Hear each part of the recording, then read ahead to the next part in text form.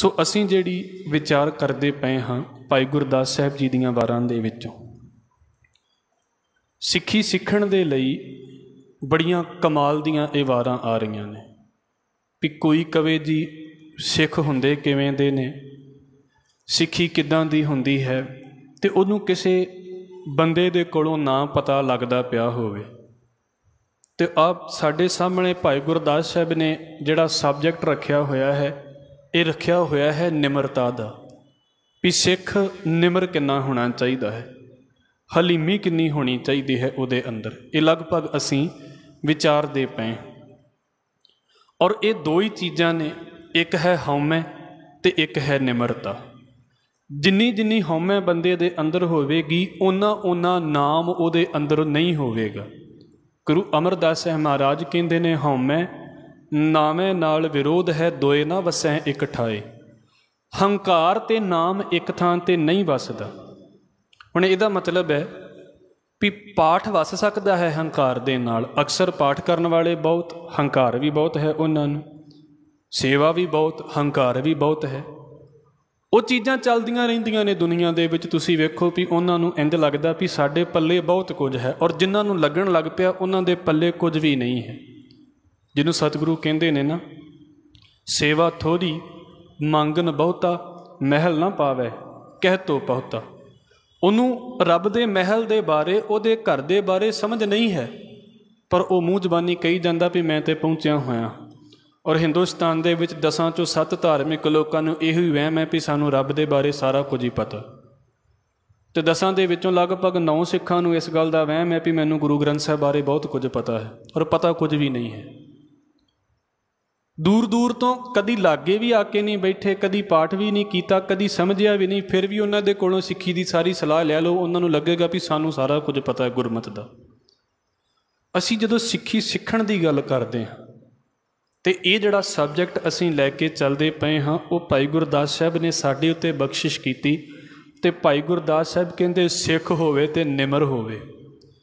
ਸਿੱਖ ਹੋਵੇ ਤੇ ਮੈਂ ਅਕਸਰ ਇਹਨਾਂ ਪੌੜੀਆਂ ਨੂੰ ਵਿਚਾਰਨ ਤੋਂ ਪਹਿਲਾਂ ਬੇਨਤੀ ਕਰਦਾ ਪਿਆ ਹਾਂ ਕਿ ਨਿਮਰਤਾ ਦਾ ਮਤਲਬ ਝੂਠੀ ਨਿਮਰਤਾ ਨਹੀਂ ਹੈ ਕਿ ਮੇਰੇ ਪੱਲੇ ਕੁਝ ਨਹੀਂ ਤੇ ਮੈਂ ਤਾਂ ਝੁਕ ਗਿਆ ਹਾਂ। ਮੌਜ ਤੇ ਮਜ਼ਾ ਇਸ ਗੱਲ ਦੇ ਵਿੱਚ ਹੈ ਕਿ ਮੈਨੂੰ ਬਹੁਤ ਕੁਝ ਪਤਾ ਹੈ, ਮੈਂ ਤਾਂ ਵੀ ਹਲੀਮੀ ਧਾਰਨ ਕਰਕੇ ਰੱਖੀ ਹੈ। ਮੈਨੂੰ ਆਉਂਦਾ ਸਾਰਾ ਕੁਝ ਹੈ, ਮੈਂ ਤਾਂ ਵੀ ਆਪਣੇ ਆਪ ਨੂੰ ਨੀਵਾ ਕਰਕੇ ਰੱਖਿਆ ਹੈ। ਮੌਜ ਤੇ ਇਸ ਗੱਲ ਦੇ ਵਿੱਚ ਹੈ, ਇਹ ਥੋੜਾ ਵੀ ਕੁਝ ਆਉਂਦਾ ਹੀ ਨਹੀਂ ਤੇ ਮੈਂ ਕਹਾਂ ਜੀ ਫਿਰ ਤੇ ਬੰਦੇ ਨੂੰ ਨੀਵਾ ਹੋਣਾ ਚਾਹੀਦਾ ਹੈ। ਨਹੀਂ।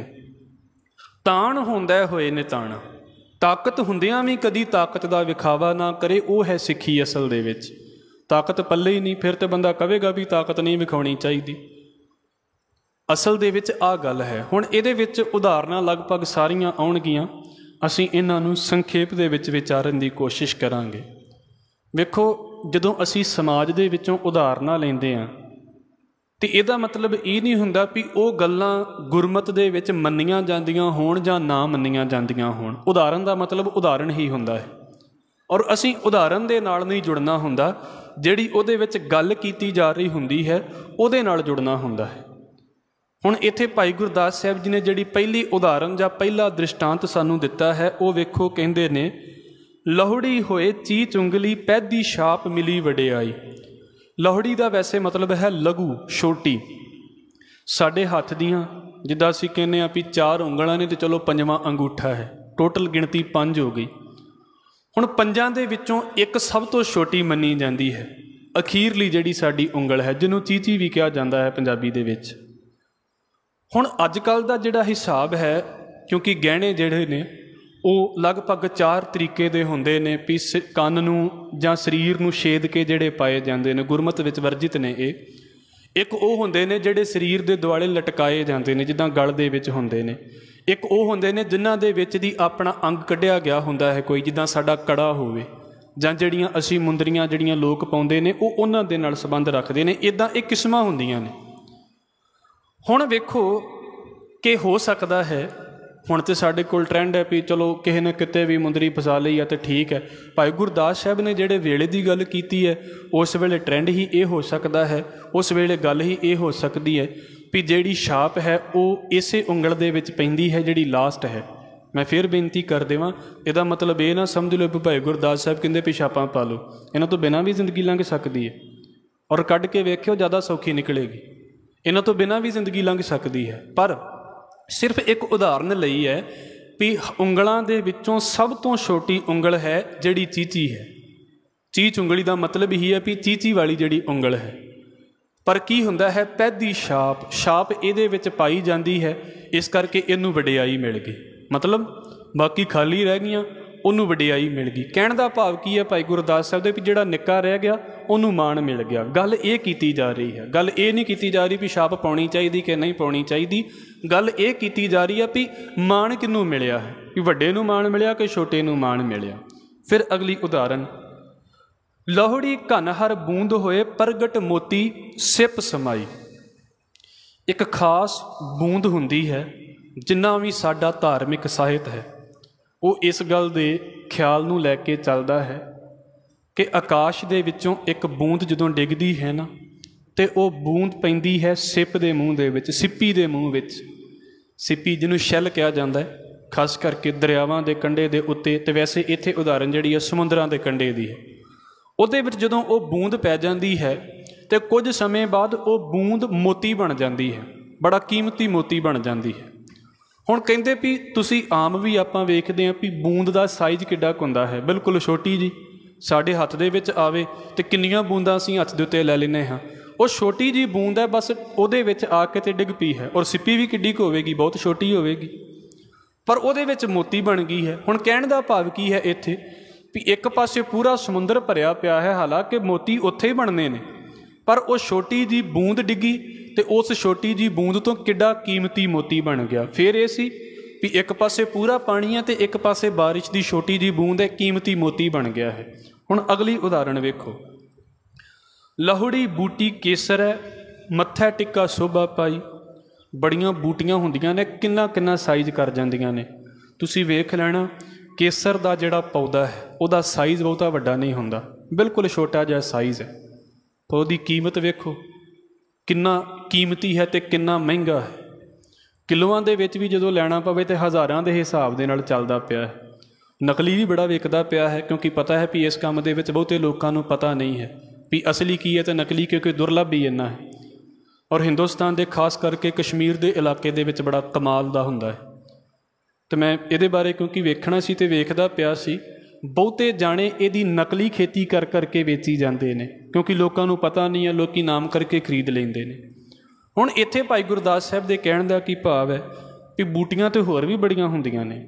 ਤੁਸੀਂ ਵੇਖੋਗੇ ਕਈ ਕਿਸੇ ਦਾ ਜਿਹੜਾ ਆਕਾਰ ਹੈ, ਪੌਦਿਆਂ ਨੂੰ ਛੱਡ ਕੇ ਜਿਹੜੀਆਂ ਆਮ ਬੂਟੀਆਂ ਹੁੰਦੀਆਂ ਨੇ, ਕੋਈ 5 ਫੁੱਟ ਵੱਧ ਗਈ, ਕੋਈ 10 ਫੁੱਟ ਵੀ ਵੱਧ ਜਾਂਦੀ ਹੈ, ਬੂਟੀ ਕੋਈ ਇਦਾਂ ਦੀ ਵੀ ਹੈ, ਪਰ ਕੇਸਰ ਏਡਾ ਵੱਡਾ ਨਹੀਂ। ਪਰ ਹੁੰਦਾ ਕੀ ਹੈ, ਲਹੁੜੀ ਬੂਟੀ ਕੇਸਰ ਹੈ ਮੱਥਾ ਟਿੱਕਾ ਸ਼ੋਭਾ ਪਾਈ। ਹੁਣ ਜਦੋਂ ਕੋਈ ਬੰਦਾ ਧਾਰਮਿਕ ਅਸਥਾਨ ਤੇ ਜਾਂਦਾ ਹੈ, ਖਾਸ ਕਰਕੇ ਮੰਦਿਰ ਦੇ ਵਿੱਚ, ਸਾਡੇ ਵਿੱਚ ਤਾਂ ਚਲੋ ਇਹ ਵਿਧਾਨ ਹੀ ਨਹੀਂ। ਤੇ ਉਹਨੂੰ ਟਿੱਕਾ ਜਦੋਂ ਲੱਗਦਾ ਹੈ ਤੇ ਕੇਸਰ ਦਾ ਟਿੱਕਾ ਲੱਗ ਜਾਂਦਾ ਹੈ। ਹੁਣ ਕਹਿਣ ਦਾ ਭਾਵ ਕੀ ਹੈ, ਚੰਦਨ ਦੀ ਵੀ ਚਲੋ ਗੱਲ ਆਉਂਦੀ ਹੈ ਤੁਹਾਨੂੰ ਚੰਦਨ ਮਸਤਕ ਪਾਤੀ। ਚੰਦਨ ਦੀ ਗੱਲ ਵੀ ਆ ਜਾਂਦੀ ਹੈ ਵੀ ਚੰਦਨ ਦਾ ਵੀ ਲੇਪ ਉਹ ਮੱਥੇ ਦੇ ਉੱਤੇ ਕਰਦੇ ਨੇ, ਸਰੀਰ ਤੇ ਵੀ ਲਾਉਂਦੇ ਨੇ, ਕਿਉਂਕਿ ਚੰਦਨ ਸ਼ਾਂਤੀ ਦਾ ਪ੍ਰਤੀਕ ਹੁੰਦਾ ਉਹ ਠੰਡ ਦੇਣ ਵਾਲਾ ਹੁੰਦਾ ਹੈ, ਇਸ ਕਰਕੇ ਵਰਤਿਆ ਜਾਂਦਾ ਹੈ। ਹੁਣ ਬਾਕੀ ਜੜੀ ਬੂਟੀਆਂ ਨੂੰ ਛੱਡ ਕੇ ਤੇ ਕੇਸਰ ਦਾ ਇੱਕ ਛੋਟਾ ਜਿਹਾ ਬੂਟਾ ਹੈ, ਉਹਨੂੰ ਵਰਤ ਲਿਆ ਗਿਆ ਵੀ ਇਹਦੇ ਨਾਲ ਮੱਥੇ ਦੇ ਉੱਤੇ ਟਿੱਕਾ ਲਾਇਆ ਜਾਵੇ। ਗੱਲ ਫੇਰ ਕੀ ਹੈ? ਵੀ ਵੱਡੀਆਂ ਚੀਜ਼ਾਂ ਨੂੰ ਛੱਡ ਕੇ ਤੇ ਛੋਟੀ ਚੀਜ਼ ਨੂੰ ਐਕਸੈਪਟ ਕਰ ਲਿਆ ਗਿਆ। ਜਿਉ ਵਾਹਿਗੁਰੂ, ਲੋਹੜੀ ਪਾਰਸ ਪੱਥਰੀ ਅਸ਼ਟ ਧਾਤ ਕੰਚਨ ਕਰਵਾਈ। ਪਾਰਸ ਦੇ ਬਾਰੇ, ਜਿਹਨੂੰ ਅਸੀਂ ਫਿਲਾਸਫਰ ਸਟੋਨ ਕਿਹਾ ਜਾਂਦਾ ਹੈ, ਇੱਕ ਖਿਆਲ ਪ੍ਰਚਲਿਤ ਹੈ, ਜਿਹੜਾ ਮੈਂ ਪਹਿਲਾਂ ਵੀ ਇੱਕ ਦਿਨ ਬੇਨਤੀ ਕੀਤੀ ਸੀ ਮੰਨਿਆ ਜਾਂਦਾ ਵੀ 8 ਤਰੀਕੇ ਦੀਆਂ ਜਿਹੜੀਆਂ ਮੈਟਲਸ ਨੇ 8 ਤਰੀਕੇ ਦੀਆਂ ਧਾਤਾਂ ਨੇ, ਇਹਦੇ ਨਾਲ ਟੱਚ ਕਰ ਜਾਣ ਨਾ ਤੇ ਇਹ ਉਹਨਾਂ ਨੂੰ ਸੋਨਾ ਬਣਾ ਦਿੰਦਾ ਹੈ। ਜਿੱਦਾਂ ਇੱਕ ਸ਼ਬਦ ਤੁਸੀਂ ਪੜ੍ਹਦੇ ਜੇ, ਗੁਰ ਕੰਚਨ ਹਮ ਲੋ, ਗੁਰ ਮਿਲ ਗੁਰ ਪਾਰਸ ਹਮ ਲੋ, ਮਿਲ ਕੰਚਨ ਹੋਇਆ RAM ਵਾਹਿਗੁਰੂ। ਗੁਰੂ ਕੀ ਹੈ? ਗੁਰੂ ਪਾਰਸ ਹੈ। ਅਸੀਂ ਕੀ ਆ ਲੋਹੇ ਵਰਗੇ ਹਾਂ। ਤੇ ਮਿਲ ਕੇ ਕੀ ਹੋ ਗਿਆ? ਕੰਚਨ ਹੋਇਆ RAM ਉਹਨੂੰ ਗੁਰੂ ਨੂੰ ਮਿਲ ਕੇ ਅਸੀਂ ਸੋਨੇ ਵਰਗੇ ਹੋ ਗਏ। ਪਾਰਸ ਦਾ ਮਤਲਬ ਕੀ ਹੁੰਦਾ ਵੀ ਉਹਦੀ ਜਿਹੜੀ ਉਹਦੇ ਕੋਲ 8 ਤਰੀਕੇ ਦੀਆਂ ਬੂਟੀਆਂ ਆਉਂਦੀਆਂ ਨੇ ਨਾ, ਤੇ ਉਹਦੇ ਨਾਲ ਕੀ ਹੋਣਾ ਹੈ? 8 ਤਰੀਕੇ ਦੀਆਂ ਧਾਤਾਂ ਉਹਦੇ ਕੋਲ ਆਉਂਦੀਆਂ ਨੇ, ਉਹਨਾਂ ਨੂੰ ਸੋਨਾ ਬਣਾ ਦਿੰਦਾ ਹੈ। ਹੁਣ ਉਹ ਕੋਈ ਬਹੁਤਾ ਵੱਡਾ ਨਹੀਂ ਹੁੰਦਾ। ਭਾਈ ਗੁਰਦਾਸ ਸਾਹਿਬ ਕਹਿੰਦੇ ਨੇ, ਲਹੜੀ ਪਾਰਸ ਪੱਥਰੀ, ਜਿਹੜਾ ਪਾਰਸ ਪੱਥਰ ਹੁੰਦਾ ਹੈ ਨਾ, ਬਿਲਕੁਲ ਛੋਟਾ ਜਿਹਾ ਟੁਕੜਾ ਹੁੰਦਾ ਹੈ। ਪਰ ਕੀ ਹੈ? ਅਸ਼ਟ ਧਾਤ ਕੰਚਨ ਕਰਵਾਈ, ਅੱਠ ਧਾਤਾਂ ਨੂੰ ਸੋਨੇ ਵਰਗਾ ਬਣਾ ਦਿੰਦਾ ਹੈ। ਹੁਣ ਇੱਕ ਪਾਸੇ ਪੱਥਰ ਉਹ ਵੀ ਤੇ ਵੇਖੋ ਜਿੱਥੇ ਜਿਹੜੇ ਪਹਾੜ ਨੇ, ਉਹ ਪੂਰੇ ਦੇ ਪੂਰੇ ਪੱਥਰਾਂ ਦੇ ਨੇ। ਪੂਰੇ ਦੇ ਪੂਰਾ ਹੀ ਪਹਾੜ ਪੱਥਰ, ਇਦਾਂ, ਏਡੇ ਏਡੇ ਵੱਡੇ ਸਾਈਜ਼ ਦੇ ਪੱਥਰ ਹੋ ਗਏ। ਨਦੀਆਂ ਦੇ ਕੰਢੇ ਵੇਖ ਲਓ, ਹਜ਼ਾਰਾਂ, ਹਜ਼ਾਰ ਸਾਲ ਦੇ ਪਏ ਹੋਏ ਪੱਥਰ ਨੇ, ਕਿੰਨੇ ਕਿੰਨੇ ਵੱਡੇ ਸਾਈਜ਼ ਨੇ। ਉਹਦੇ ਮੁਕਾਬਲੇ ਦੇ ਵਿੱਚ ਪਾਰਸ ਕੀ ਹੈ? ਬਿਲਕੁਲ ਛੋਟਾ ਜਿਹਾ ਹੈ। ਪਰ ਉਹ ਕੀ ਕਰਦਾ ਹੈ? ਉਹ ਅੱਠਾਂ ਧਾਤਾਂ ਨੂੰ ਕੰਚਨ ਬਣਾ ਦਿੰਦਾ ਹੈ, ਸੋਨਾ ਬਣਾ ਦਿੰਦਾ ਹੈ। ਜਿਉ ਮਨ ਲਹੜੇ ਸੱਪ ਸਿਰ, ਦੇਖੈ ਲੁਕ ਲੁਕ, ਲੋਕ ਲੁਕਾਈ। ਹੁਣ ਕਹਿੰਦੇ ਵੇਖੋ ਵੀ ਸੱਪ ਦੇ ਸਿਰ ਦੇ ਵਿੱਚ ਇੱਕ ਮਣੀ ਹੁੰਦੀ ਹੈ, ਜਿਹਦੇ ਬਾਰੇ ਤੁਸੀਂ ਆਮ ਗੱਲਾਂ ਬਹੁਤੀ ਵਾਰ ਸੁਣੀਆਂ ਹੋਣਗੀਆਂ। ਇਹ ਗੱਲਾਂ ਪ੍ਰਚਲਿਤ ਰਹੀਆਂ ਨੇ। ਠੀਕ ਹੈ, ਸਾਡੀਆਂ ਅੱਜ ਦੀਆਂ ਪੜ੍ਹਾਈਆਂ ਜ਼ਰੂਰੀ ਨੇ, ਪੜ੍ਹਨਾ ਚਾਹੀਦਾ ਹੈ।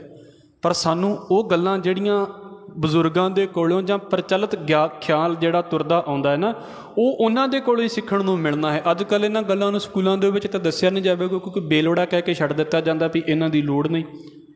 ਪਰ ਪੁਰਾਣਿਆਂ ਨੇ ਸਾਰੇ ਅਰਥੀ ਉਹ ਵਰਤੇ ਨੇ। ਇਸ ਕਰਕੇ ਕੀ ਹੈ ਵੀ ਜਿੱਦਾਂ ਸੱਪ ਦੇ ਸਿਰ ਦੇ ਵਿੱਚ ਮਣੀ ਹੁੰਦੀ ਹੈ, ਹੁਣ ਸੱਪ ਦੇ ਸਿਰ ਦੇ ਵਿੱਚ ਮਣੀ ਹੋਵੇਗੀ ਤੇ ਕਿੱਡੀ ਕੁ ਹੋਵੇਗੀ? ਬਿਲਕੁਲ ਛੋਟੀ ਜੀ ਹੋਵੇਗੀ। ਪਰ ਮੰਨਿਆ ਜਾਂਦਾ ਵੀ ਉਸ ਮਣੀ ਨੂੰ ਵੇਖਣਾ ਲੋਕ ਆਪਣਾ ਭਾਗ ਮੰਨਦੇ ਨੇ। ਮੈਂ ਇਹ ਨਹੀਂ ਕਹਿੰਦਾ ਵੀ ਭਾਗ ਹੈ ਨੇ ਜਾਂ ਨਹੀਂ ਹੈ ਨੇ। ਗੱਲ ਉੱਥੇ ਕੀ ਕੀਤੀ ਜਾ ਰਹੀ ਹੈ? ਵੀ ਹੈ ਤੇ ਬਿਲਕੁਲ ਛੋਟੀ ਜੀ ਹੈ ਉਹ ਮਣੀ, ਪਰ ਲੋਕੀ ਉਹਨੂੰ ਵੇਖਣਾ ਆਪਣਾ ਭਾਗ ਮੰਨਦੇ ਨੇ। ਦੇਖਿਆ ਲੁਕ ਲੁਕ ਲੋਕ ਲੁਕਾਈ, ਲੁਕ ਲੁਕ ਕੇ ਭਾਵ ਕੇ ਓਲੇ ਹੋ ਹੋ ਕੇ ਤੇ ਸੱਪ ਦੇ ਵਿੱਚ ਉਸ ਮਣੀ ਨੂੰ ਵੇਖਣ ਦੀ ਕੋਸ਼ਿਸ਼ ਕਰਦੇ ਨੇ। ਫਿਰ ਅਗਲੀ ਉਦਾਹਰਣ ਲਈ ਹੈ, ਜਾਣ ਰਸਾਇਣ ਪਾਰਿਓ, ਰੱਤੀ ਮੁੱਲ ਨਾ ਜਾਏ ਮੁਲਾਈ। ਪਾਰਾ ਜਿਹਨੂੰ ਮਰਕਰੀ ਕਿਹਾ ਜਾਂਦਾ ਹੈ। ਮੈਡੀਕਲ ਸਾਇੰਸ ਦੇ ਵਿੱਚ ਵੀ ਤੇ ਖਾਸ ਕਰਕੇ ਜਿਹੜੀ ਪੁਰਾਣੀ ਸਾਡੀ ਹਕੀਮੀ ਹੈ, ਉਹਦੇ ਵਿੱਚ ਪਾਰਾ ਉਹਨੂੰ ਮਾਰਿਆ ਜਾਂਦਾ ਹੈ। ਮਾਰਨ ਦਾ ਮਤਲਬ ਹੁੰਦਾ ਹੈ, ਇੱਕ ਖਾਸ ਬਾਕੀ ਦਵਾਈਆਂ ਦੇ ਨਾਲ ਮਿਲਾਇਆ ਉਹਨੂੰ ਜਾਂਦਾ ਹੈ, ਖਾਸ ਮਾਤਰਾ ਦੇ ਵਿੱਚ ਤਿਆਰ ਕੀਤਾ ਜਾਂਦਾ ਕਿਉਂਕਿ ਜੇ ਐਕਸੈਸ ਹੋ ਜਾਵੇ ਤੇ ਉਹ ਜਾਨ ਵੀ ਖਤਮ ਕਰ ਸਕਦਾ ਹੈ। ਉਹ ਸਿਰਫ ਇੱਕ ਉਦਾਹਰਣ ਹੈ ਵੀ ਜਿੱਦਾਂ ਉਹਨੂੰ ਦਵਾਈ ਦੇ ਤੌਰ ਦੇ ਉੱਤੇ ਵਰਤਿਆ ਜਾਂਦਾ ਹੈ ਤੇ ਦਵਾਈ ਦੀ ਜ਼ਿਆਦਾ ਨਹੀਂ ਵਰਤਿਆ ਜਾਂਦਾ ਉਹ, ਬਿਲਕੁਲ ਥੋੜਾ ਜਿਹਾ ਵਰਤਿਆ ਜਾਂਦਾ ਹੈ, ਰਤੀਕ, ਬਿਲਕੁਲ ਥੋੜਾ ਜਿਹਾ ਹੁੰਦਾ ਹੈ। ਇਹ ਵੈਸੇ ਤੋਲਣ ਦਾ ਇੱਕ ਮਾਪ ਹੁੰਦਾ ਹੈ ਵੀ ਰਤੀ ਤੋਲਣਾ ਹੈ, ਮਾਸਾ ਤੋਲਣਾ ਹੈ ਇਦਾਂ ਰਤੀ ਤੋਲਿਆ ਜਾਂਦਾ ਹੈ।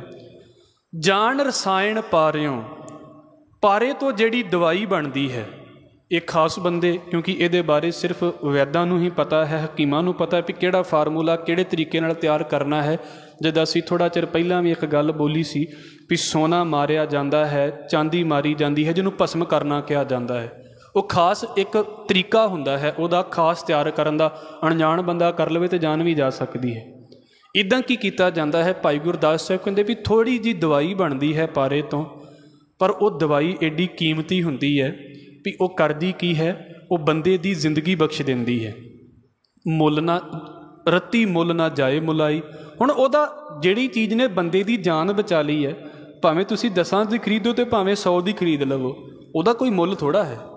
ਅਸੀਂ ਵੇਖਣ ਨੂੰ ਕਹਿ ਦਿੰਨੇ ਆ ਵੀ ਇਹ ਜੀ 2 ਰੁਪਏ ਦੀ ਦਵਾਈ ਹੈ ਜਾਂ 2 ਰੁਪਏ ਦੀ ਗੋਲੀ ਹੈ। ਅਸਲ ਦੇ ਵਿੱਚ ਗੱਲ 2 ਰੁਪਏ ਦੀ ਨਹੀਂ ਹੈ। ਗੱਲ ਹੈ ਵੀ ਕੰਮ ਕਿਹੜੇ ਵੇਲੇ ਆਈ ਹੈ? ਕਿਸੇ ਵੇਲੇ 2 ਲੱਖ ਦੀ ਇਲਾਜ ਨਹੀਂ ਕੰਮ ਆਉਂਦਾ, ਕਿਸੇ ਵੇਲੇ ਬਿਲਕੁਲ ਛੋਟਾ ਜਿਹਾ ਇਲਾਜ ਕੰਮ ਦੇ ਵਿੱਚ ਆ ਗਿਆ।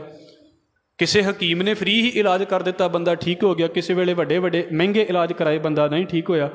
ਗੱਲ ਕੀ ਸੀ ਵੀ ਜਿੰਨੇ ਜਾਨ ਬਖਸ਼ ਦਿੱਤੀ ਹੈ, ਉਹਦੇ ਮੁਕਾਬਲੇ ਦੇ ਉੱਤੇ ਤੇ ਪੈਸਾ ਕੀ ਮੁੱਲ ਰੱਖਦਾ ਹੈ? ਜਿੰਨੇ ਵੀ ਰਸਾਇਣ ਬਣਦੇ ਨੇ, ਦਵਾਈਆਂ ਬਣਦੀਆਂ ਨੇ, ਭਾਈ ਗੁਰਦਾਸ ਸਾਹਿਬ ਕਹਿੰਦੇ ਵੀ ਉਹ ਥੋੜੀ ਜੀ ਵੀ ਹੋਵੇ ਤੇ ਉਹਦਾ ਮੁੱਲ ਨਹੀਂ ਨਾ ਪਾਇਆ ਜਾ ਸਕਦਾ। ਹੁਣ ਇੱਥੋਂ ਗੱਲ ਸਿੱਖਾਂ ਦੇ ਬਾਰੇ ਕੀਤੀ। ਉਹ ਕਿਹੜੀ ਗੱਲ ਹੈ? ਆਪ ਗਵਾਏ, ਨਾ ਆਪ ਗਣਾਈ। ਭਾਈ, ਜਿਹੜੇ ਗੁਰਮੁਖ ਜਨ ਨੇ ਨਾ, ਉਹ ਆਪੇ ਨੂੰ ਗਵਾ ਲੈਂਦੇ ਨੇ। ਉਹ ਇਹ ਨਹੀਂ ਕਹਿੰਦੇ ਵੀ ਸਾਨੂੰ ਜਾਣੋ। ਉਹ ਤੇ ਇੰਨੇ ਨੀਵੇਂ ਹੋ ਕੇ ਰਹਿੰਦੇ ਨੇ, ਜਿੱਦਾਂ ਹੱਥ ਦੇ ਵਿੱਚ ਉਂਗਲੀ ਸਭ ਤੋਂ ਨੀਵੀਂ ਹੋ ਕੇ ਰਹਿੰਦੀ ਹੈ ਜੋ ਅਸੀਂ ਪਹਿਲਾਂ ਪਿੱਛੇ ਪੜ ਕੇ ਆਏ ਇਹਨੂੰ ਸੰਖੇਪ ਕਰਾਂਗਾ ਹੁਣ। ਜਿੱਦਾਂ ਬੂੰਦ ਬਿਲਕੁਲ ਛੋਟੀ ਜੀ ਬਣੀ ਰਹਿੰਦੀ ਹੈ, ਜਿੱਦਾਂ ਕੇਸਰ ਦਾ ਬੂਟਾ ਬਿਲਕੁਲ ਛੋਟਾ ਜਿਹਾ ਬਣਿਆ ਰਹਿੰਦਾ ਹੈ, ਜਿੱਦਾਂ ਪਾਰਸ ਦਾ ਜਿਹੜਾ ਪੱਥਰ ਹੈ ਬਿਲਕੁਲ ਛੋਟਾ ਜਿਹਾ ਬਣਿਆ ਰਹਿੰਦਾ ਹੈ। ਬਿਲਕੁਲ ਇਦਾਂ ਜਿਹੜੀਆਂ ਉਦਾਹਰਨਾਂ ਦੇ ਕੇ ਤੇ ਭਾਈ ਗੁਰਦਾਸ ਸਾਹਿਬ ਕਹਿੰਦੇ ਵੀ ਜਦੋਂ ਸਿੱਖ ਸੰਗਤ ਦੇ ਵਿੱਚ ਵਿਚਰੇ, ਜਦੋਂ ਸਿੱਖ ਵਿਚਰਦਾ ਹੈ ਨਾ, ਤੇ ਆਪ ਗਵਾਏ। ਆਪਣੇ ਆਪ ਨੂੰ ਗਵਾ ਕੇ ਵਿਚਰੇ।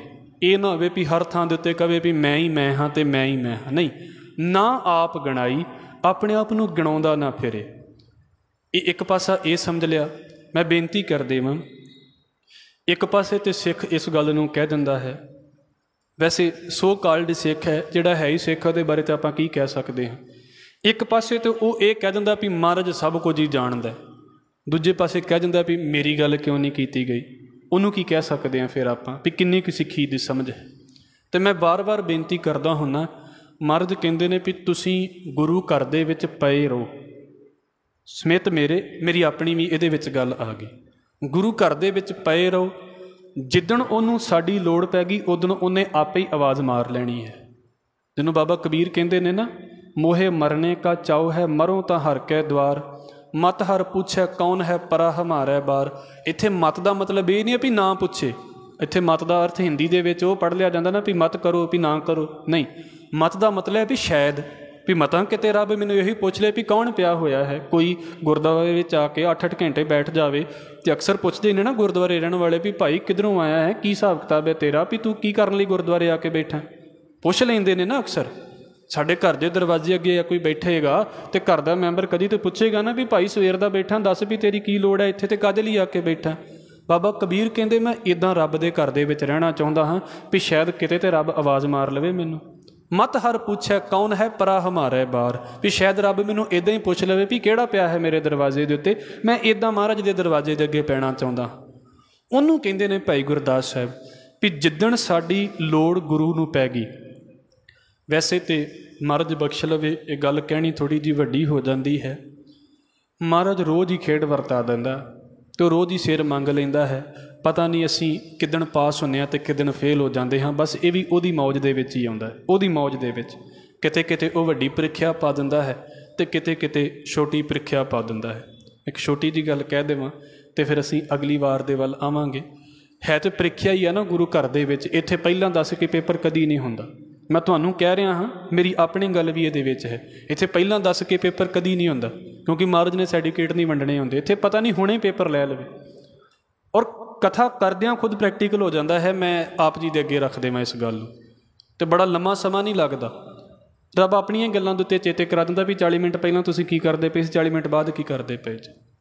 ਚਲੋ, ਇੱਕ ਕਿਤੇ ਹੋਵੇਗਾ ਤੇ ਮੈਂ ਤੁਹਾਨੂੰ ਦੱਸਾਂਗਾ, ਜਿਸ ਵੇਲੇ ਭਾਈ ਮੰਝ ਨੂੰ ਸਤਿਗੁਰੂ ਗੁਰੂ ਅਰਜਨ ਸਾਹਿਬ ਸੱਚੇ ਪਾਤਸ਼ਾਹ ਨੇ ਖੂਹ ਦੇ ਵਿੱਚੋਂ ਬਾਹਰ ਕੱਢਿਆ ਸੀ।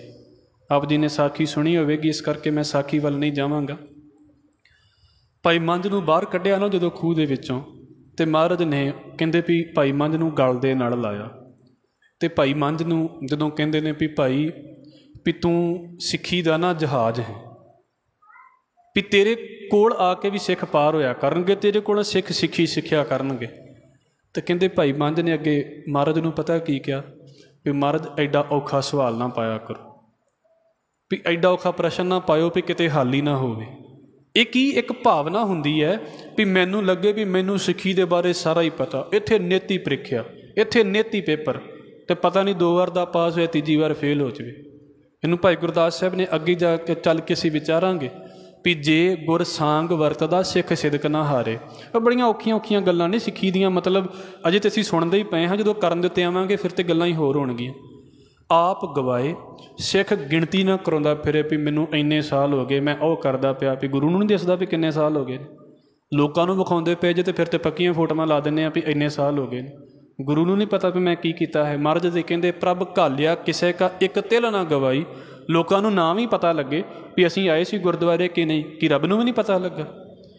ਇਦਾਂ ਸਿੱਖ ਵਿਚਰੇ ਆਪ ਗਵਾਏ, ਆਪਣੇ ਆਪ ਨੂੰ ਨੀਵਾ ਕਰੀ ਜਾਵੇ। ਸਾਡੇ ਨਾਲੇ ਪਾਠਾਂ ਦੀ ਗਿਣਤੀ ਵੱਧ ਜਾਂਦੀ ਹੈ, ਨਾਲੇ ਹਉਮੈ ਦੀ ਪੰਡ ਵੱਡੀ ਹੋ ਜਾਂਦੀ ਵੀ ਮੈਂ ਦਿਸਿਆ ਕਿਉਂ ਨਹੀਂ ਗੁਰਦੁਆਰੇ ਆਇਆ ਸੀ। ਨਹੀਂ, ਆਪ ਗਵਾਏ, ਨਾ ਆਪ ਗਣਾਈ, ਆਪਣੇ ਆਪ ਨੂੰ ਗਿਣਾਉਂਦੇ ਨਾ ਫਿਰੋ। ਸਗੋਂ ਹੋਰ ਪਿੱਛੇ ਹੋ ਜਾਵੋ, ਹੋਰ ਪਿੱਛੇ ਹੋ ਜਾਵੋ। ਪਿੱਛੇ ਹੋਣ ਦਾ ਮਤਲਬ ਇਹ ਨਹੀਂ ਵੀ ਅੱਗੇ ਸੇਵਾ ਦੇ ਵਿੱਚ ਨਹੀਂ ਆਉਣਾ, ਵੀ ਲੁੱਕ ਕੇ ਬੈਠ ਜਾਣਾ। ਪਿੱਛੇ ਹੋਣ ਦਾ ਮਤਲਬ ਇਹ ਹੈ ਵੀ ਆਪ ਨਹੀਂ ਆਪਣੀ ਮਸ਼ਹੂਰੀ ਕਰਦੇ ਫਿਰਦਾ ਜਿੱਦਣ ਮਹਾਰਾਜ ਨੂੰ ਲੋੜ ਹੋਈ, ਮਹਾਰਾਜ ਨੇ ਆਪਣੇ ਆਪ ਹੀ ਆਵਾਜ਼ ਮਾਰ ਲੈਣੀ ਹੈ। ਇਹ, ਇਹਨੂੰ ਪ੍ਰੈਕਟੀਕਲ ਕਰਕੇ ਵੇਖ ਲਿਓ। ਜਿੱਦਣ ਉਹਨੇ ਜੋ ਕਰਨਾ, ਉਹਨੇ ਉਦਣ ਹੀ ਕਰਨਾ ਹੈ। ਆਪਣੀਆਂ ਅਕਲਾਂ ਕਰਨ ਵਾਲੇ ਜ਼ੋਰ ਲਾ ਲਾ ਕੇ ਹਟ ਜਾਂਦੇ ਨੇ, ਕੁਝ ਨਹੀਂ ਬਣਦਾ। ਤੇ ਜਦੋਂ ਰੱਬ ਨੇ ਆਵਾਜ਼ ਮਾਰਨੀ ਹੈ, ਪਤਾ ਨਹੀਂ ਸਾਰਿਆਂ ਦੇ ਵਿੱਚੋਂ ਉਠਾ ਕੇ ਆਵਾਜ਼ ਮਾਰ ਦੇਵੇ। ਜਿਹਨੂੰ ਸਤਿਗੁਰੂ ਕਹਿੰਦੇ ਨੇ ਨਾ, ਇੱਕ ਜਾ ਗੰਦੇ ਨਾਲ ਹਨ ਇੱਕ ਨਾ ਸੁੱਤਿਆਂ ਦੇ ਉਠਾਲ।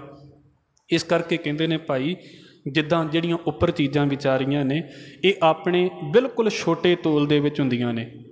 ਪਰ ਮਾਣ ਪਾ ਲੈਂਦੀਆਂ ਨੇ ਨਾ, ਸਿੱਖ ਨੀਵਾ ਰਵੇ, ਸਿੱਖ ਗਰੀਬੀ ਦੇ ਵਿੱਚ ਵਿਚਰੇ, ਰ- ਗੁਰੂ ਘਰ ਦੇ ਵਿੱਚ ਮਾਣ ਪਾ ਲਵੇਗਾ। ਫਿਰ ਅਗਲੀ ਉਦਾਹਰਣ ਉਹਨਾਂ ਨੇ ਇਹੀ ਦਿੱਤੀ ਹੈ।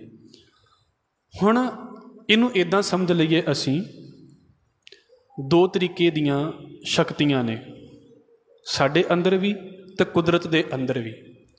ਜਿੱਦਾਂ ਅੱਗ ਹੈ, ਸਾਡੀ ਜ਼ਿੰਦਗੀ ਲਈ ਬੜੀ ਜ਼ਰੂਰੀ ਚੀਜ਼ ਹੈ, ਇਹ ਨਾ ਹੋਵੇ ਤੇ ਸਾਡਾ ਖਾਦਾ ਵੀ ਨਾ ਸਾਨੂੰ ਪਚੇ। ਦੂਜੇ ਨੰਬਰ ਦੇ ਉੱਤੇ ਪਾਣੀ ਹੈ, ਹੁਣ ਪਾਣੀ ਅੱਗ ਤੋਂ ਬਿਲਕੁਲ ਉਲਟ ਹੈ। ਪਾਣੀ ਕਿੰਨਾ ਵੀ ਗਰਮ ਹੋਵੇ, ਅੱਗ ਦੇ ਉੱਤੇ ਪਾ ਦਿਓ ਅੱਗ ਉਸੇ ਵੇਲੇ ਬੁਝ ਜਾਂਦੀ ਹੈ। ਪਾਣੀ ਦਾ ਇੱਕ ਆਪਣਾ ਸੁਭਾਅ ਹੈ ਅੱਗ ਦਾ ਇੱਕ ਆਪਣਾ ਸੁਭਾਅ ਹੈ, ਸਾਡੇ ਲਈ ਦੋਵੇਂ ਲੋੜ ਵਾਲੇ ਨੇ। ਹੁਣ ਜਦੋਂ ਇੱਥੇ ਭਾਈ ਗੁਰਦਾਸ ਸਾਹਿਬ ਨੇ ਗੱਲ ਕੀਤੀ ਹੈ ਨਾ, ਅੱਗ ਤੱਤੀ, ਜਲ ਸੀਲਾ ਕਿਤ ਅਵਗੁਣ, ਕਿਤ ਗੁਣ ਵਿਚਾਰਾ। ਇਹ ਇੱਥੇ ਭਾਵ ਇਹ ਲੈਣਾ ਹੈ, ਇੱਥੇ ਮੈਂ ਸੰਖੇਪ ਕਰ ਦੇਵਾਂ, ਭਾਈ ਗੁਰਦਾਸ ਸਾਹਿਬ ਜੀ ਨੇ ਪਾਣੀ ਨੂੰ ਚੰਗਾ ਕਿਹਾ ਹੈ। ਪਰ ਇਹਦਾ ਮਤਲਬ ਇਹ ਨਹੀਂ ਵੀ ਭਾਈ ਗੁਰਦਾਸ ਸਾਹਿਬ ਅੱਗ ਨੂੰ ਬੁਰਾ ਕਹਿ ਰਹੇ ਨੇ। ਦੋਵੇਂ ਚੀਜ਼ਾਂ ਲੋੜ ਵਾਲੀਆਂ ਹੁੰਦੀਆਂ ਨੇ। ਕਵੀ ਨੂੰ ਸਮਝਣ ਦਾ ਇੱਕ ਤਰੀਕਾ ਹੁੰਦਾ ਹੈ। ਵੀ ਉਸ ਵੇਲੇ ਕਿਹੜੀ ਗੱਲ ਕਰਦਾ ਪਿਆ ਹੈ? ਉਹਨਾਂ ਦੇ ਕਹਿਣ ਦਾ ਮਤਲਬ ਇੱਥੇ ਇਹ ਹੈ, ਜਿੱਦਾਂ ਅੱਗ ਜਿਹੜੀ ਨਾ ਉਹ ਸਾੜਦੀ ਹੈ ਨਾ, ਕੁਝ ਬੰਦੇ ਇਦਾਂ ਦੇ ਹੁੰਦੇ ਨੇ ਜਿਨ੍ਹਾਂ ਦੀ ਜ਼ਿੰਦਗੀ ਦੇ ਵਿੱਚ ਸਮਝ ਲਓ ਵੀ ਜਦੋਂ ਲਾਗੂ ਲਾਗੇ ਬੈਠੋ, ਸੇਕ ਹੀ ਸੇਕ ਹੁੰਦਾ ਉਹਨਾਂ ਦੇ ਕੋਲ। ਜਦੋਂ ਬੋਲਣਗੇ, ਉਹਨਾਂ ਦੇ ਮੂੰਹ ਵੀ ਗਰਮ, ਮੂੰਹ ਦੇ ਵਿੱਚੋਂ ਸੇਕ ਨਿਕਲਦਾ ਹੈ। ਸੇਕ ਨਿਕਲਣ ਦਾ ਮਤਲਬ ਤੁਸੀਂ ਸਮਝ ਗਏ ਵੀ ਤਪੇ ਹੋਏ ਬੋਲਦੇ ਨੇ। ਹਰ ਵੇਲੇ ਵੀ ਗਰਮੀ ਰਹਿਣਾ, ਉਹਨਾਂ ਨੇ ਕਦੀ ਠੰਡੇ ਹੀ ਨਹੀਂ ਹੋਣਾ। ਬੜੇ ਬੰਦੇ ਇਦਾਂ ਦੇ। ਕੁਝ ਮੂਵਮੈਂਟ ਹੁੰਦੀਆਂ ਨੇ ਵੀ ਚਲੋ ਥੋੜੇ ਬਹੁਤੇ ਠੰਡੇ ਵੀ ਹੋ ਗਏ ਨੇ ਤੇ ਲਗਭਗ ਉਹ ਜਿਹੜਾ ਸਾਇਲੈਂਸਰ ਹੁੰਦਾ ਨਾ ਗੱਡੀਆਂ ਦਾ ਜਾਂ ਬਾਈਕ ਦਾ, ਉਹਦੇ ਵਾਂਗੂ ਸਾਰਾ ਦਿਨ ਤਪੇ ਹੀ ਰਹਿਣਾ ਉਹਨਾਂ ਨੇ। ਔਰ ਬੁਰਾ ਨਾ ਮਨਾਇਓ, ਇਹ ਅੱਗੇ ਅੱਗੇ ਫਰਸਟ੍ਰੇਸ਼ਨ ਵੱਧਦੀ ਜਾ ਰਹੀ ਹੈ। ਪੁਰਾਣਿਆਂ ਘਰਾਂ 'ਚ ਤੁਸੀਂ ਕਹਿੰਦੇ ਨੇ ਵੀ ਬੰਦੇ ਬੋਲਦੇ ਨੇ ਵੀ ਬੰਦੇ ਸਾਰਾ ਦਿਨ ਗੁੱਸੇ 'ਚ ਰਹਿੰਦੇ ਨੇ। ਅਗਾਂਹ ਹਾਲ ਵੇਖ ਲਓ ਤੁਸੀਂ। ਅਤੇ ਰਾਤ ਨੂੰ ਸੜਕਾਂ ਤੇ ਨਿਕਲ ਕੇ ਵੇਖ ਲੈਣਾ ਵੀ ਕੌਣ ਕੌਣ ਕੋਈ ਕੀ ਨਹੀਂ ਬੋਲਦਾ ਹੁੰਦਾ। ਇਹਨੂੰ ਇਹ ਨਹੀਂ ਕਹਿ ਸਕਦੇ ਵੀ ਸਿਰਫ ਬੰਦੇ ਹੀ ਇਸ ਪਾਸੇ ਤੋਂ ਨੇ।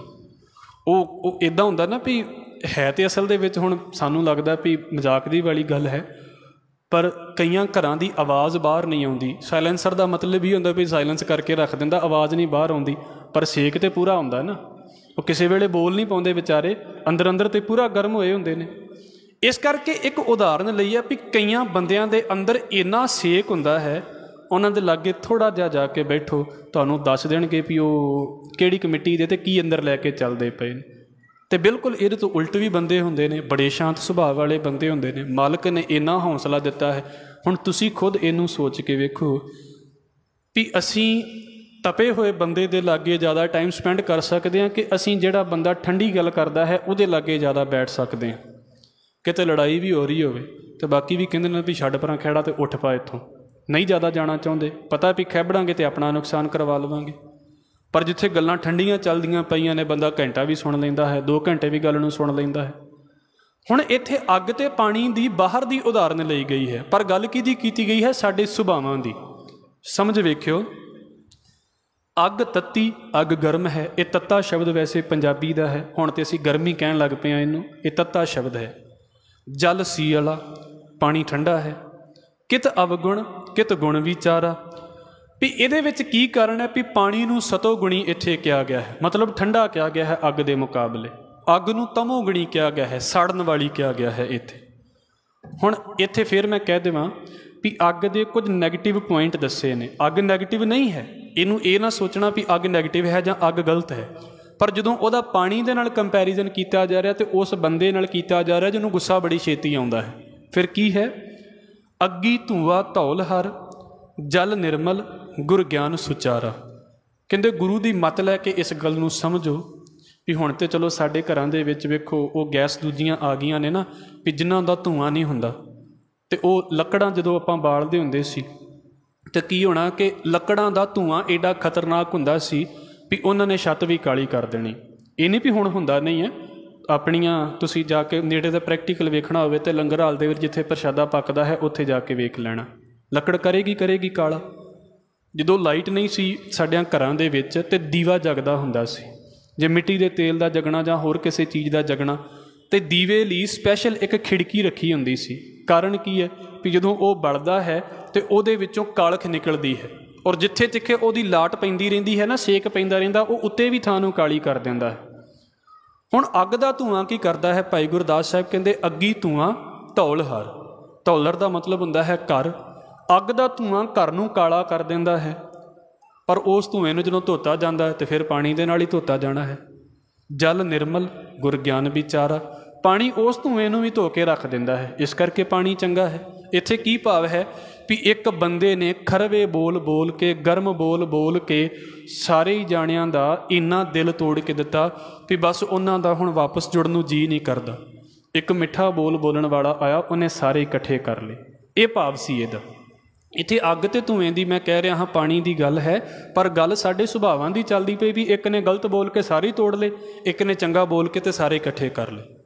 ਫਿਰ ਅਗਲੀ ਗੱਲ, ਕੁੱਲ ਦੀਪਕ ਬੈ ਸੰਤਰੋਂ ਜਲ ਕੁਲ ਕਵਲ ਵੱਡੇ ਪਰਵਾਰਾ।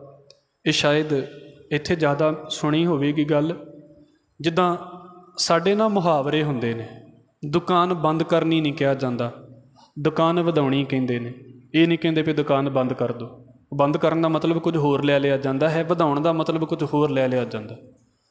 ਹੁਣ ਇਦਾਂ ਹੀ ਜਦੋਂ ਦੀਵਾ ਬੰਦ ਕੀਤਾ ਜਾਂਦਾ ਹੈ, ਬੁਝਾਇਆ ਜਾਂਦਾ ਹੈ, ਤੇ ਇਹ ਨਹੀਂ ਕਹਿੰਦੇ ਸੀ ਵੀ ਦੀਵੇ ਨੂੰ ਫੂਕ ਮਾਰ ਦਿਓ ਜਾਂ ਦੀਵਾ ਬੁਝਾ ਦਿਓ ਕਹਿੰਦੇ ਵੀ ਦੀਵਾ ਵੱਡਾ ਕਰ ਦਿਓ ਮਤਲਬ ਕੀ ਹੁੰਦਾ ਵੀ ਕਰਨਾ ਤੇ ਬੰਦ ਹੀ ਹੈ, ਮਤਲਬ ਉਹਦਾ ਆਹੀ ਹੈ ਵੀ ਉਹਨੂੰ ਬੁਝਾ ਦਿਓ, ਪਰ ਉਹਦੇ ਲਈ ਲਫ਼ਜ਼ ਨਹੀਂ ਸੀ ਇਹ ਵਰਤਿਆ ਜਾਂਦਾ। ਇਦਾਂ ਹੀ ਇੱਥੇ ਹਵਾਲਾ ਪੜੀਏ ਤਾਂ ਕਹਿੰਦੇ ਵੀ ਜਦੋਂ ਜਗਾਉਣਾ ਹੈ, ਉਦੋਂ ਕਹਿੰਦੀ ਸੀ ਵੀ ਦੀਵਾ ਛੋਟਾ ਕਰ ਦਿਓ। ਹੁਣ ਇੱਥੋਂ ਭਾਵੇਂ ਲੈ ਲਿਆ ਵੀ ਦੀਵਾ ਜਿਹੜਾ ਹੈ ਨਾ, ਅੱਗ ਹੈ, ਉਹ ਵੱਡਾ ਛੋਟਾ ਕਰਨ ਦਾ ਇੱਕ ਆਪਣੇ ਵਿੱਚ ਮਾਦਾ ਰੱਖਦੀ ਹੈ। ਪਰ ਜਲ ਕੁਲ ਕਵਲ ਵੱਡੇ ਪਰਵਾਰਾ ਜਲ ਵੀ ਵੱਡਾ ਹੀ ਰਹਿੰਦਾ ਹੈ, ਉਹਦੇ ਵਿੱਚ ਵੀ ਛੋਟੇ ਕਰਨ ਵਾਲੀ ਗੱਲ ਨਹੀਂ ਤੇ ਕਮਲ ਦੇ ਵਿੱਚ ਵੀ ਛੋਟੇ ਕਰਨ ਵਾਲੀ ਗੱਲ ਨਹੀਂ, ਕਮਲ ਦੇ ਵਿੱਚ। ਉਹਦੇ ਵਿੱਚ ਇਹ ਖੇਡਾਂ ਨਹੀਂ ਚੱਲਦੀਆਂ ਵੀ ਉਹਨੂੰ ਵੱਡਾ ਕਰ ਲਓ ਤੇ ਛੋਟਾ ਕਰ ਲਓ। ਉਹ ਨੈਚੁਰਲੀ ਸਾਰਾ ਕੁਝ ਹੁੰਦਾ ਰਹਿੰਦਾ ਹੈ। ਫਿਰ ਦੀਪਕ ਹੇਤ ਪਤੰਗ ਦਾ, ਕਵਲ ਭਵਰ ਪ੍ਰਗਟ ਪਹਾਰਾ ਹੁਣ ਕਹਿੰਦੇ ਇਹ ਉਦਾਹਰਨ ਤੇ ਵੈਸੇ ਜੇ ਅਸੀਂ ਗੁਰੂ ਘਰਾਂ ਦੇ ਨਾਲ ਜੁੜੇ ਹਾਂ ਤੇ ਬਹੁਤ ਵਾਰ ਸੁਣੀ ਹੋਵੇਗੀ, ਜਿਹੜਾ ਪਤੰਗਾ ਹੈ, ਉਹ ਦੀਵੇ ਦੇ ਉੱਤੇ ਆਉਂਦਾ ਹੈ ਤੇ ਅੱਗ ਦੇ ਵਿੱਚ ਸੜ ਜਾਂਦਾ ਹੈ। ਹੁਣ ਮਹਾਰਾਜ ਨੇ ਬੜੀ ਵਾਰ ਇਹਨੂੰ ਪੋਜ਼ਿਟਿਵ ਪਾਸੇ ਤੋਂ ਵੀ ਲਿਆ ਹੈ। ਪਰ ਇਹਨੂੰ ਸੋਚ ਕੇ ਵੇਖੋ ਨਾ ਵੀ ਦੀਵੇ ਦੇ ਉੱਤੇ ਜਦੋਂ ਆਉਂਦਾ ਹੈ ਪਤੰਗਾ, ਤੇ ਆਉਂਦੇ ਹੀ ਅੱਗ ਸਾੜ ਦੇਵੇ ਤੇ ਭਾਵੇਂ ਉਸੇ ਵੇਲੇ ਚੜ੍ਹਾਈ ਕਰ ਜਾਂਦਾ ਹੈ। ਇੱਕ ਵਾਰ ਤੇ ਅੱਗ ਦਾ ਸੇਕ ਲੱਗਦਾ ਹੀ ਆ ਨਾ ਸਰੀਰ ਨੂੰ। ਇੱਕ ਵਾਰ ਤੇ ਕਿੰਨਾ ਔਖਾ ਕੰਮ ਹੈ ਵੀ ਆ ਕੇ ਉਸੇ ਵੇਲੇ ਸੜ ਜਾਵੇ। ਜਿਉਂਦਿਆਂ ਸੜਨਾ ਕਿਤੇ ਸੌਖਾ ਹੀ ਪਿਆ ਹੈ। ਹੁਣ ਕਹਿੰਦੇ ਨੇ ਵੀ ਵੇਖੋ, ਦੀਪਕ ਦੇ ਨਾਲ, ਦੀਪਕ ਦਾ ਹੇਤ ਜਿਹੜਾ ਹੈ, ਉਹ ਪਤੰਗੇ ਦਾ ਬੜਾ ਪਿਆਰ ਹੈ ਦੀਵੇ ਦੇ ਨਾਲ, ਦੀਪਕ ਦੇ ਨਾਲ। ਤੇ ਇਦਾਂ ਹੀ ਭੌਰਾ ਜਿਹੜਾ ਹੈ ਨਾ, ਉਹਦਾ ਕਮਲ ਦੇ ਨਾਲ ਪਿਆਰ ਹੈ। ਹੁਣ ਪਤੰਗਾ ਜਿਹੜਾ ਹੈ, ਉਹ ਜਦੋਂ ਅੱਗ ਦੇ ਉੱਤੇ ਆਇਆ, ਕਿੰਨਾ ਕੁ ਟਾਈਮ ਲੱਗਾ ਉਹਨੂੰ ਸੜਦਿਆਂ, ਅੱਧਾ ਸੈਕਿੰਡ ਵੀ ਨਹੀਂ ਲੱਗਦਾ। ਬਸ ਉਹ ਆਇਆ, ਅੱਗ ਦੇ ਵਿੱਚੋਂ ਨਿਕਲਿਆ ਤੇ ਅੱਗ ਨੇ ਆਪਣਾ ਕੰਮ ਕਰ ਦਿੱਤਾ। ਪਰ ਜਿਹੜਾ ਭੌਰਾ ਹੁੰਦਾ ਨਾ, ਜਿਹਨੂੰ ਭਵਰ ਵੀ ਕਿਹਾ ਜਾਂਦਾ ਹੈ ਉਹ ਵਾਰ ਉਹਦੇ ਉੱਤੇ ਬੈਠਾ ਰਹਿੰਦਾ ਹੈ ਫੁੱਲ ਤੇ ਔਰ ਬੋਲਦਾ ਰਹਿੰਦਾ ਹੈ, ਲਗਾਤਾਰ ਬੋਲਦਾ ਰਹਿੰਦਾ ਹੈ। ਉਹ ਬਾਅਦ ਦੀਆਂ ਗੱਲਾਂ ਨੇ ਵੀ ਉਹਨੂੰ ਫੁੱਲ ਬੰਦ ਕਰ ਲੈਂਦਾ ਤੇ ਉਹ ਚੜ੍ਹਾਈ ਕਰ ਜਾਂਦਾ ਹੈ। ਪਰ ਉਹਦੇ ਉੱਤੇ ਬੈਠਣ ਦਾ ਸਮਾਂ ਜ਼ਿਆਦਾ ਹੈ। ਇਹਦਾ ਮਤਲਬ ਹੈ ਵੀ ਜੋ ਠੰਡਾ ਹੋਵੇਗਾ, ਉਹਦੇ ਕੋਲ ਲੋਕ ਜ਼ਿਆਦਾ ਬੈਠ ਜਾਣਗੇ। ਜਿਹੜਾ ਇੱਕਦਮ ਸਾੜਨ ਵਾਲਾ ਹੋਵੇਗਾ, ਲੋਕੀ ਕੀ ਕਹਿਣਗੇ ਵੀ ਛੱਡ ਪਰਾਂ। ਮੈਂ ਅਕਸਰ ਇਹਨਾਂ ਦਿਨਾਂ ਦੇ ਵਿੱਚ ਉਦਾਹਰਨ ਲੈ ਰਿਹਾ ਹਾਂ। ਸੁਭਾਅ ਠੰਡਾ ਹੋਵੇਗਾ, ਲੋਕ ਸੁਣ ਲੈਣਗੇ। ਜੇ ਸੁਭਾਅ ਜਿਹੜਾ ਹੈ, ਉਹ ਖਪਿਆ ਪਿਆ ਹੈ ਤੇ ਤਪਿਆ ਪਿਆ ਹੈ, ਕਿੱਡੀ ਵੀ ਕੀਮਤੀ ਗੱਲ ਹੋਵੇਗੀ, ਲੋਕੀ ਨਹੀਂ ਸੁਣਨਗੇ। ਔਰ ਗਾਂ ਗਾਂ ਤੇ ਹਾਲਾਤ ਇਹਦੇ ਤੋਂ ਵੀ ਬੁਰੇ ਹੋਈ ਜਾਂਦੇ ਨੇ। ਉਹ ਪਹਿਲਾਂ ਹੁੰਦਾ ਸੀ ਵੀ ਇਹਦਾ ਡਰ ਰੱਖੋ, ਇਹਦੀ ਗੱਲ ਸੁਣਨੀ ਪੈਣੀ ਆ। ਅਗਲੇ ਹੁਣ ਕਹਿੰਦੇ ਨੇ ਵੀ ਛੱਡੋ ਪਰਾਂ, ਸਾਨੂੰ ਤੇਰੇ ਨਾਲ ਕੀ ਮਤਲਬ ਹੈ ਕੋਈ ਨਹੀਂ ਗੱਲ ਸੁਣ ਕੇ ਰਾਦੀ ਸੁਭਾਅ ਦੇ ਵਿੱਚ ਹਲੀਮੀ ਲਿਆਉਣੀ ਹੀ ਪਵੇਗੀ, ਬੋਲਾਂ ਦੇ ਵਿੱਚ ਉਹ ਚੀਜ਼ ਲਿਆਉਣੀ ਹੀ ਪਵੇਗੀ ਵੀ ਪੇਸ਼ੈਂਸ ਸਾਡੇ ਅੰਦਰ ਕਿੰਨਾ ਹੈ। ਇੱਕ ਬੇਨਤੀ ਕਰ ਦੇਵਾਂ, ਭਾਈ ਗੁਰਦਾਸ ਸਾਹਿਬ ਜੀ ਦਾ ਹਵਾਲਾ ਮੈਂ ਕਈ ਵਾਰ ਆਪ ਜੀ ਦੇ ਨਾਲ ਸਾਂਝਾ ਕਰਦਾ ਹੁੰਨਾ ਹਾਂ ਉਹ ਕਹਿੰਦੇ ਨੇ, ਜੈਸੇ ਦੀਪ ਦਿਪਤ ਨਾ ਜਾਣੀਆਂ ਭਵਨ ਵਿਖੇ। ਜਦੋਂ ਘਰ ਦੇ ਵਿੱਚ ਦੀਵਾ ਜਗਦਾ ਹੋਵੇ ਨਾ, ਤੇ ਫਿਰ ਕਿਸੇ ਨੂੰ ਨਹੀਂ ਪਤਾ ਹੁੰਦਾ ਵੀ ਅੰਦਰ ਕੀ ਜਗਦਾ ਪਿਆ ਹੈ। ਪਰ ਦਾਵਾ ਨਾਲ ਭਏ ਨਾ ਦੁਰਾਏ ਦੁਰੈ ਨਾਥ ਜੀ, ਤੇ ਉਸੇ ਦੀਵੇ ਨਾਲ ਕਿਤੇ ਘਰ ਨੂੰ ਅੱਗ ਲੱਗ ਜਾਵੇ ਨਾ, ਤੇ ਫਿਰ ਨਹੀਂ ਲੋਕਾਂ ਦੇ ਕੋਲੋਂ ਅੱਗ ਲੁਕੀ ਰਹਿੰਦੀ। ਲੋਕਾਂ ਨੂੰ ਪਤਾ ਲੱਗ ਜਾਂਦਾ ਵੀ ਸਾਰੇ ਪਾਸੇ ਅੱਗ ਫੈਲ ਗਈ ਹੈ। ਬਸ ਇਦਾਂ ਹੀ ਕਹਿੰਦੇ ਨੇ, ਤੈਸੇ ਮੁਖ ਮਦ ਬਾਣੀ ਬਸਤ ਨਾ ਕੋਉ ਲਖੈ, ਬੋਲੀਐ ਵਿਚਾਰ ਗੁਰਮਤ ਗੁਣਗਾਥ ਜੀ। ਬਸ ਜਿਹੜੀ ਮੇਰੇ ਮੂੰਹ ਦੇ ਅੰਦਰ ਬੋਲੀ ਵਸਦੀ ਪਈ ਆ ਨਾ, ਉਹ ਕਿਸੇ ਨੂੰ ਨਹੀਂ ਪਤਾ ਵੀ ਮੈਂ ਕੀ ਬੋਲਣਾ ਹੈ। ਜਦੋਂ ਬੋਲੀ ਗਈ, ਫਿਰ ਮੇਰੇ ਵਸ ਦੇ ਵਿੱਚ ਵੀ ਨਹੀਂ ਰਹਿਣੀ। ਤੇ ਅੱਜ ਕੱਲ ਤੇ ਪਹਿਲਾਂ ਤਾਂ ਲੋਕੀ ਕੰਨਾਂ ਨਾਲ ਸੁਣਦੇ ਸੀ ਅੱਜ ਕੱਲ ਕੰਨਾਂ ਨਾਲ ਨਹੀਂ ਸੁਣਦੇ ਅੱਜ ਕੱਲ ਮੋਬਾਈਲਾਂ ਦੇ ਨਾਲ ਸੁਣਦੇ ਨੇ। ਉਸੇ ਵੇਲੇ ਸਾਰਾ ਕੁਝ ਰਿਕਾਰਡ ਹੋ ਜਾਂਦਾ ਫਿਰ ਦਹਾਂ ਦਹਾਂ ਸਾਲਾਂ ਬਾਅਦ ਕੱਢ ਕੇ ਲੈ ਕੇ ਆਉਂਦੇ ਵੀ ਤੂੰ 10 ਸਾਲ ਪਹਿਲਾਂ ਆ ਬੋਲਿਆ ਸੀ। ਇਸ ਕਰਕੇ ਅੱਜ ਕੱਲ ਤੇ ਹੋਰ ਧਿਆਨ ਦੇ ਨਾਲ ਬੋਲਣਾ ਪੈਂਦਾ ਹੈ, ਸਮਝਣਾ ਪੈਂਦਾ ਹੈ ਇਸ ਗੱਲ ਨੂੰ। ਇਹ ਕਹਿਣਾ ਸੌਖਾ ਹੈ, ਪਰ ਚੇਤਾ ਭੁੱਲ ਜਾਂਦਾ ਬੰਦੇ ਨੂੰ। ਇਸ ਕਰਕੇ ਕਵਲ ਦੇ ਉੱਤੇ ਭੌਰਾ ਜਿਹੜਾ ਹੈ, ਉਹ ਬੜਾ ਸਮਾਂ ਟਿਕਿਆ ਰਹਿੰਦਾ ਹੈ ਨਾ। ਸ਼ਾਂਤ ਸੁਭਾਅ ਵਾਲੇ ਬੰਦੇ ਦੇ ਕੋਲ ਲੋਕ ਆ ਕੇ ਬੈਠ ਜਾਣਗੇ। ਫਿਰ ਅਗਲੀ ਗੱਲ, ਅੱਗੀ ਲਾਟ ਉਚਾਟ ਹੈ, ਸਿਰ ਉੱਚਾ ਕਰ ਕਰੈ ਕੁਚਾਰਾ। ਹੁਣ ਵੇਖੋ, ਕਹਿੰਦੇ ਵੀ ਅੱਗ ਦੀ ਜਿਹੜੀ ਲਾਟ ਹੈ, ਜਦੋਂ ਬਲਦੀ ਹੈ। ਵੈਸੇ ਤੇ ਹੁਣ ਅਸੀਂ ਸ਼ਾਇਦ ਬਹੁਤੇ ਦਿਨ ਹੋਵੇਗੀ, ਵੇਖੀ ਵੀ ਨਾ ਹੋਵੇਗੀ। ਵੇਖਣੀ ਵੀ ਇੱਥੇ ਕਿੱਥੇ ਆ ਘਰਾਂ ਦੇ ਵਿੱਚ ਥੋੜੀ ਜਿਹੀ ਗੈਸ ਤੋਂ ਲਾਟ ਬਲਦੀ ਵੇਖ ਲਈ ਤੇ ਸਾਨੂੰ ਲੱਗਦਾ ਵੀ ਬੜੀ ਬਲਦੀ ਪਈ ਹੈ। ਜੰਗਲਾਂ ਦੇ ਵਿੱਚ ਅੱਗ ਲੱਗੀ ਪਈ ਹੋਵੇ ਤੇ ਵੇਖੋ ਕਿੱਥੋਂ ਕਿੱਥੋਂ ਤੱਕ ਲਾਟਾਂ ਜਾਂਦੀਆਂ ਨੇ, ਕਿੰਨੀ ਦੂਰ ਤੱਕ ਸੇਕ ਆ ਰਿਹਾ ਹੁੰਦਾ ਉਹਦਾ। ਇੱਥੇ ਇਹ ਭਾਵ ਲਿਆ ਹੈ ਵੀ ਜਿੱਦਾਂ ਅੱਗ ਦੀ ਲਾਟ ਜਿਹੜੀ ਹੈ ਨਾ, ਜਦੋਂ ਬਲਦੀ ਹੈ ਤੇ ਉਚਾਟ ਕਰਦੀ ਹੈ, ਕਹਿਣ ਦਾ ਭਾਵ ਕੀ ਹੈ ਵੀ ਘਬਰਾਹਟ ਪੈਦਾ ਕਰ ਦਿੰਦੀ ਹੈ। ਕਿਉਂਕਿ ਅੱਗ ਲਾਗੇ ਬਲਦੀ ਹੋਵੇ ਤਾਂ ਨਾਲੇ ਡਰ ਪੈਦਾ ਹੋਣਾ ਸ਼ੁਰੂ ਹੋ ਗਿਆ। ਵੀ ਹਾਏ ਕਿ ਜੇ ਲੱਗੀ ਹੋਗੇ ਤੇ ਇਹਨੇ ਆਪਣਾ ਕੰਮ ਤੇ ਕਰ ਹੀ ਦੇਣਾ ਹੈ। ਸਿਰ ਉੱਚਾ ਕਰ ਕਰੈ ਕੁਚਾਰਾ, ਵੀ ਸਿਰ ਆਪਣਾ ਉੱਚਾ ਚੁੱਕਦੀ ਹੈ ਅੱਗ। ਮਤਲਬ ਵਾਰ-ਵਾਰ ਹੋਰ ਤੇਜ਼ ਹੁੰਦੀ ਰਹਿੰਦੀ ਹੈ। ਕਰੈ ਕੁਚਾਰਾ, ਸਿਰ ਨੀਵਾ, ਪਰ ਪਾਣੀ ਬਿਲਕੁਲ ਹੀ ਇਹਦੇ ਤੋਂ ਉਲਟ ਚੱਲਦਾ ਪਿਆ ਹੈ। ਸਿਰ ਨੀਵਾ ਨਿਵਾਨ ਵਾਸ, ਪਾਣੀ ਕਦੀ ਤਾਂ ਨੂੰ ਨਹੀਂ ਜਾਵੇਗਾ ਤਾਂ ਨੂੰ ਸੁੱਟੋ ਵੀ ਤੇ ਵਾਪਸ ਠਾਂ ਨੂੰ ਆਵੇਗਾ। ਤੇ ਅੱਗ ਠਾਂ ਨੂੰ ਨਹੀਂ ਜਾਵੇਗੀ, ਜਿੰਨੀ ਮਰਜ਼ੀ ਲੱਕੜ ਥੱਲੇ ਲਈ ਜਾਓ, ਉਹਨੇ ਫੇਰ ਉੱਪਰ ਨੂੰ ਹੀ ਆਉਣਾ ਹੈ। ਇਹਨੂੰ ਇਦਾਂ ਨਹੀਂ ਮੈਂ ਕਹਿੰਦਾ ਵੀ ਉਹਨੂੰ ਸਾਇੰਟੀਫਿਕ ਕੀ ਗੱਲ ਹੈ ਫਲਾਣਾ। ਸਾਡਾ ਕੰਮ ਸਾਇੰਸ ਸਿੱਖਣਾ ਨਹੀਂ ਹੈ ਇੱਥੇ। ਇੱਥੇ ਅਸੀਂ ਧਰਮ ਸਿੱਖਣ ਆਏ ਹਾਂ। ਇੱਥੇ ਅਸੀਂ ਗੱਲਾਂ ਸਿੱਖਣ ਆਏ ਹਾਂ। ਇੱਥੇ ਸਾਇੰਸ ਸਿੱਖਣ ਨਹੀਂ ਆਏ। ਸਾਇੰਸ ਸਿੱਖਣੀ ਹੈ ਤੇ ਲੈਬ ਦੇ ਵਿੱਚ ਜਾ ਕੇ ਸਿੱਖ ਲੈਣੀ ਚਾਹੀਦੀ ਹੈ। ਜਿਹੜੇ ਬੰਦੇ ਧਰਮ ਤੇ ਸਾਇੰਸ ਦਾ ਕੰਪੈਰੀਜ਼ਨ ਕਰਦੇ ਨੇ ਨਾ, ਉਹ ਭੁਲੇਖੇ ਦੇ ਵਿੱਚ ਨੇ। ਸਾਇੰਸ ਦਾ ਆਪਣਾ ਵੇ ਹੈ, ਧਰਮ ਦਾ ਆਪਣਾ ਵੇ ਹੈ। ਜਿਹੜੀਆਂ ਗੱਲਾਂ ਨੂੰ ਸਾਇੰਸ ਕੰਡੈਮ ਕਰਦੀ ਹੈ, ਧਰਮ ਉਹਨਾਂ ਗੱਲਾਂ ਨੂੰ ਮੰਨਦਾ ਹੈ। ਪਰ ਕਾਰਨ ਕੀ ਹੈ? ਧਰਮ ਜਿੱਦਦਾ ਨਹੀਂ ਇਹਨਾਂ ਗੱਲਾਂ ਦੇ ਉੱਤੇ। ਮੈਂ ਆਪਣੀ ਗੱਲ ਨੂੰ ਪ੍ਰੂਵ ਕਰਨ ਦੇ ਲਈ ਕਦੀ ਵੀ ਸਾਇੰਸ ਦਾ ਹਵਾਲਾ ਨਹੀਂ ਲਵਾਂਗਾ, ਭਾਵੇਂ ਸਾਇੰਸ ਮੰਨਦੀ ਹੈ ਤੇ ਭਾਵੇਂ ਨਹੀਂ ਮੰਨਦੀ, ਕਿਉਂਕਿ ਮੈਂ ਧਾਰਮਿਕ ਹਾਂ, ਮੈਂ ਸਾਇੰਸਦਾਨ ਨਹੀਂ ਹਾਂ। ਸਾਇੰਸ 100 ਗੱਲਾਂ ਅੱਜ ਤੋਂ ਪਹਿਲਾਂ ਮੰਨਦੀ ਸੀ, ਆਪਣੀਆਂ ਗੱਲਾਂ ਨੂੰ ਰੱਦ ਕਰ ਲੈਂਦੀ ਹੈ। ਉਹਨੂੰ ਕੀ ਕਹਿ ਸਕਦੇ ਹਾਂ? ਅੱਗ ਉੱਤੇ ਕਿਉਂ ਜਾਂਦੀ ਹੈ? ਸਾਇੰਸ ਦੇ ਕੋਲ ਇਹਦਾ ਆਪਣਾ ਜਵਾਬ ਹੈ। ਤੇ ਔਰ ਮੈਂ ਇਹ ਵੀ ਬੇਨਤੀ ਕਰ ਦੇਵਾਂ ਅੱਜ ਕੱਲ ਸਾਡੇ ਦਿਮਾਗ ਦੇ ਵਿੱਚ ਇੱਕ ਗੱਲ ਵਾੜੀ ਜਾ ਰਹੀ ਹੈ ਵੀ ਧਰਮ ਉਹ ਜਿਹੜਾ ਸਾਇੰਸ ਦੇ ਉੱਤੇ ਨਿਭੇ, ਧਰਮ ਉਹ ਜਿਹੜਾ ਸਾਇੰਸ ਤੇ ਨਿਭੇ। ਤੇ ਸਾਇੰਸ ਕਿਹੜੀ ਹੈ? ਜਿਹੜੀਆਂ ਆਪਣੀਆਂ ਗੱਲਾਂ ਤੋਂ ਝੂਠੀ ਪੈ ਜਾਂਦੀ ਹੈ। ਸਾਇੰਸ ਇੱਕ ਗੱਲ ਦਾ ਇਲਾਜ ਪਹਿਲਾਂ ਕਿਸੇ ਰੂਪ ਦੇ ਵਿੱਚ ਕਰਦੀ ਹੈ। 100 ਸਾਲ ਬਾਅਦ ਉਹਦੀ ਨਵੀਂ ਖੋਜ ਆ ਜਾਂਦੀ ਹੈ, ਉਹ ਨਵੇਂ ਤਰੀਕੇ ਨਾਲ ਕਰ ਲੈਂਦੀ ਹੈ।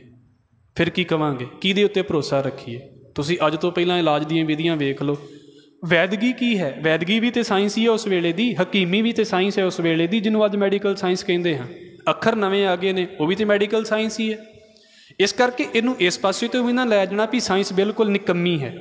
ਪਰ ਮੈਂ ਇਹ ਕਹਿ ਰਿਹਾ ਹਾਂ ਵੀ ਧਰਮ ਤੇ ਸਾਇੰਸ ਦੋਵਾਂ ਦਾ ਆਪਣਾ ਆਪਣਾ ਟਰੈਕ ਹੈ। ਦੋਵਾਂ ਦੀ ਆਪਣੀ ਆਪਣੀ ਖੇਡ ਹੈ। ਜਿਨੇ ਸਾਇੰਸ ਸਿੱਖਣੀ ਹੈ, ਉਹ ਭਾਈ ਲੈਬ ਦੇ ਵਿੱਚ ਜਾਵੇ। ਜਿਨੇ ਧਰਮ ਸਿੱਖਣਾ ਹੈ, ਉਹਨੇ ਗੁਰਦੁਆਰੇ ਵਿੱਚੋਂ ਸਿੱਖ ਲੈਣਾ ਹੈ। ਦੋਵਾਂ ਨੂੰ ਆਪਸ ਦੇ ਵਿੱਚ ਲੜਾਉਣ ਵਾਲੇ ਮਹਾਮੂਰਖ ਬੰਦੇ ਨੇ। ਦੋਵੇਂ ਚੀਜ਼ਾਂ ਦਾ ਪਤਾ ਹੋਵੇ ਬੰਦੇ ਨੂੰ, ਪਰ ਉਹਨੂੰ ਇਹ ਵੀ ਪਤਾ ਹੋਵੇ ਵੀ ਇੱਕ ਦੀ ਨੇਚਰ ਕੀ ਹੈ ਤੇ ਦੂਜੇ ਦੀ ਨੇਚਰ ਕੀ ਹੈ।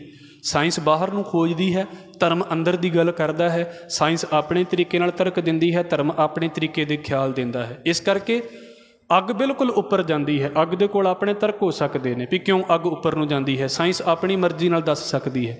ਪਾਣੀ ਨੀਵਾ ਕਿਉਂ ਜਾਂਦਾ ਹੈ? ਸ਼ੋਰ ਹੈ ਵੀ ਭਾਰਾ ਹੈ, ਤਾਂ ਕਰਕੇ ਨੀਵਾ ਜਾਵੇਗਾ ਗ੍ਰੈਵਿਟੀ ਉਹਦੇ ਵਿੱਚ ਹੈ। ਹੁਣ ਇਦਾਂ ਭਾਈ ਗੁਰਦਾਸ ਜੀ ਕਹਿੰਦੇ ਵੀ ਪਾਣੀ ਨੀਵਾ ਇਸ ਕਰਕੇ ਜਾਂਦਾ ਹੈ ਵੀ ਕੁਦਰਤੀ ਤੌਰ ਦੇ ਉੱਤੇ ਮਾਲਕ ਨੇ ਉਹਨੂੰ ਨਿਮਰਤਾ ਦੱਸੀ ਹੈ। ਹੁਣ ਸਾਇੰਸ ਥੋੜਾ ਕਹਿੰਦੀ ਵੀ ਪਾਣੀ ਨਿਮਰਤਾ ਦੇ ਵਿੱਚ ਹੈ। ਤੇ ਸਾਇੰਸ ਨਹੀਂ ਕਹਿੰਦੀ ਵੀ ਅੱਗ ਹੰਕਾਰ ਦੇ ਵਿੱਚ ਹੈ। ਧਰਮ ਦੀ ਵਿਆਖਿਆ ਇਹ ਕਹਿੰਦੀ ਹੈ ਵੀ ਹੰਕਾਰ ਕਰਕੇ ਉਹਦਾ ਇੱਕ ਗੁਣ ਲੈ ਲਿਆ ਹੈ, ਇੱਥੇ ਔਗਣ ਲੈ ਲਿਆ ਹੈ।